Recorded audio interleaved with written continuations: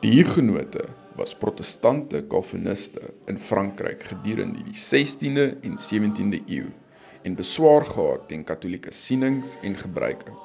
Daar was meer as 2 miljoen Hugenote en ongeveer die helfte van Frankryk was onder Hugenote beheer. Wedersydse geweld en aanvalle tussen die Hugenote en die Katolieke ontwikkel amper 'n Franse burgeroorlog.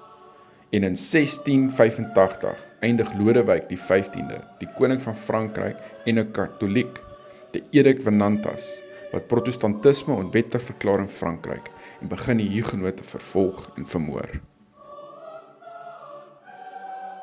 Pierre Joubert, of soos ons hom vandag ken, Pierre Joubert, was die seun van Jacques Joubert en was 'n skaam jong Hugenoot wynboer in die sonnige pragtheuwels van Provence, Frankryk. Sy lewe word oornag omvergegooi toe hy impulsief opstaan teen 'n Franse dragoonkaptein en hy in selfverdediging die soldaat sny in die gesig.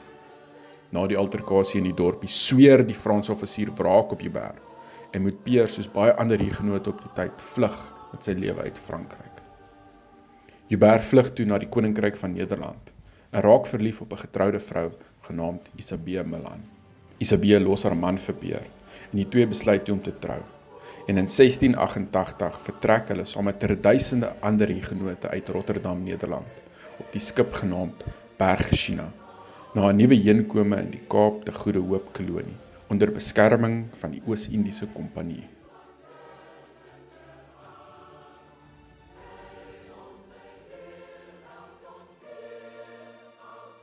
Reeds voor grootskaalse migrasie van Hugenote aan die Kaap te Goeie Hoop in 1688 tot 1689 het enkele Hugenote vlugtelinge aan die Kaap begin vestig.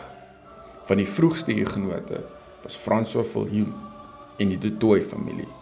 Alhoewel die eerste Hugenoot om te vestig in die Kaap was Maria de Quillier, eggenoot van Jan van Riebeeck wie se pa ook 'n Hugenoot predikant was in Nederland. Ongeveer 200 Hugenote vestig om die Franshoek area en dorp.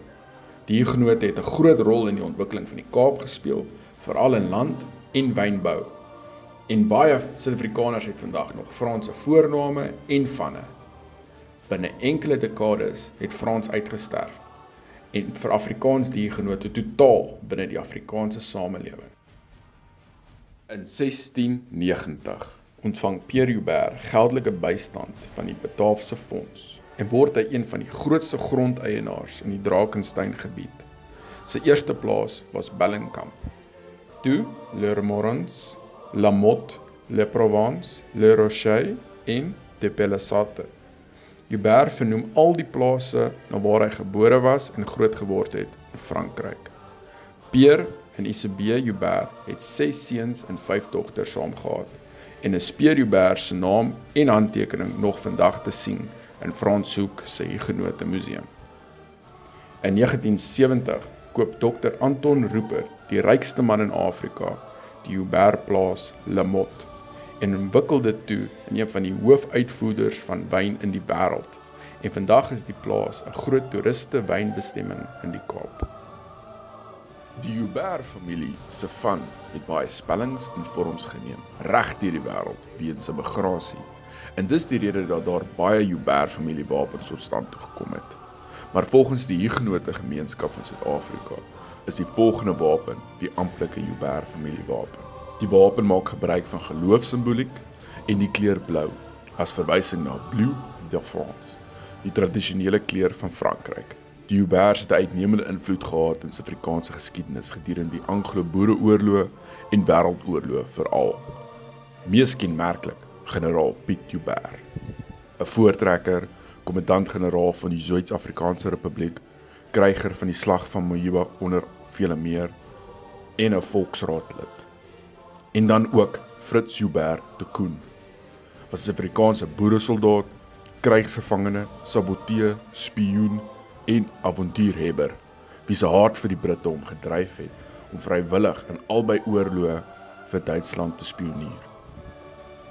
As boerespioen was hy bekend as die swart luiperd en die man wat Lord Kitchener se dood veroorsaak het as wraak op die moord op die Joubert se gesin. In 1942 is hy en 32 ander lede van die Duitse spionasiesyndikaat skuldig bevind in die grootste spionasieverhoor in die geskiedenis van Amerika.